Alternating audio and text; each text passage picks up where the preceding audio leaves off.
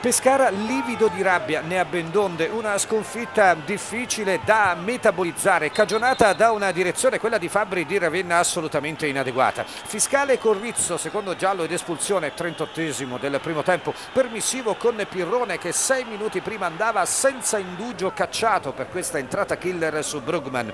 E sempre prima dell'espulsione, assai discutibile di Rizzo, il duplice fallo di mano in area di rigore siciliana di Rizzato Junco, doppia infrazione immortalata dall'obiettivo dell'ottimo Max Mucciante. Sul piano del gioco è vero, assai meglio in 10, ma alla fine la superiorità numerica avrà il suo peso. Il Trapani tira due volte in porta, sfrutta con cinismo un contropiede finalizzato in avvio di ripresa da Gambino, ma poi è solo fortunato e soprattutto salvato dal suo portiere Emanuele Nordi, ex Teramo e dai legni della sua porta. I due tecnici, Pasquale Marino e Roberto Boscaglia. Paradossalmente Marino esce fuori insomma, da questa sconfitta un Pescara rafforzato, si può dire questo?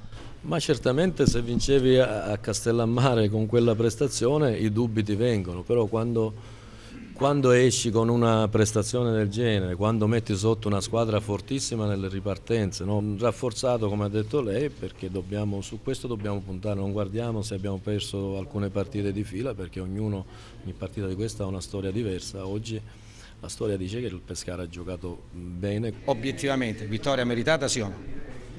Ma io credo che ognuno poi alla fine abbia quello che si meriti, nel senso che con la qualità che ha il Pescara può succedere di tutto e se loro non hanno fatto gol, se il nostro portiere è stato bravo, i meriti sono anche nostri e qualche demerito loro. Di queste partite ne ho anche perse tante, sa come. Una fastidiosa fascite plantare mette KO Capuano al suo posto, assente Zuparic per squalifica, gioca Ciasic nella difesa 3 completata da Schiavi e Zauri. In mediana torna Capitan Balzano davanti il tridente Politano Maniero Ragusa. In panchina e rinforzi di gennaio Salviato e Bovo. Per contro comincia dalla panchina perché debilitato dall'influenza il re dei bomber con 15 gol Matteo Mancosu e così in attacco Junco affianca Gambino. In casa Pescara dopo l'inopinato KO di Castellammare la parola d'ordine è ripartire, ma l'avvio è tutt'altro che incoraggiante. Biancazzurri remissivi, siciliani spigliati, subito provvidenziale Balzano che precede Nizzetto. L'apatia biancazzurra dura una quindicina di minuti. Su calcio franco, ricamo di Brugman e tentativo e spaccata di Ciasic. L'ex Terlizzi respinge forse anche col braccio. Il replay non chiarisce del tutto.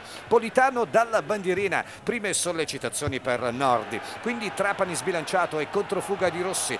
Ragusa accompagna, vince un rimpallo, alza la testa e mette in mezzo a colpo sicuro Politano, fuori al trentesimo la prima munizione giusta per Rizzo che trattiene Gambino. Sarebbe invece da Rosso l'entrata fuori tempo soprattutto pericolosa di Pirrone da Tergo su Brugman minuto 32 il disastroso Fabri di Ravenna estrae solo il giallo tra le motivate rimostranze della squadra di Marino che però continua a crescere assumendo il comando delle operazioni. Ragusa liberato da Brugman impegna Nordi. Calcio d'angolo batte il regista uruguagio. Spalle alla porta Ragusa devia di testa in sequenza. Rizzato e Iu Junco si oppongono così a pochi metri dunque perfettamente posizionato l'arbitro sorvola tra l'incredulità generale duplice infrazione da rigore ancora più evidente grazie agli scatti illuminanti di Max Muccente quasi capovolgimento gesto istintivo di Rizzo che Fabri punisce col secondo giallo minuto 38 biancazzurri in 10 ma sempre attenti primo cambio obbligato fuori Politano dentro l'ultimo arrivato Andrea Bovo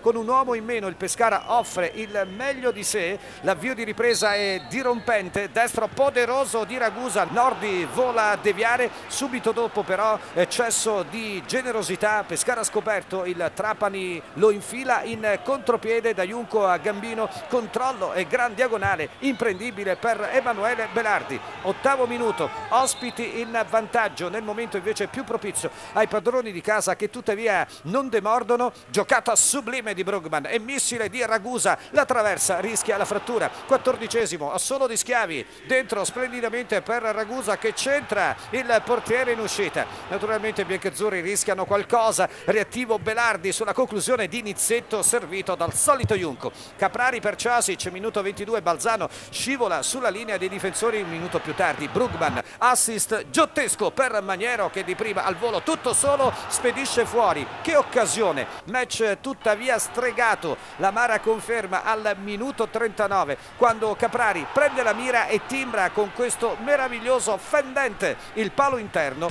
della porta di Emanuele Nordi. Finisce 1-0 per il Trapani, un solo aggettivo, pazzesco.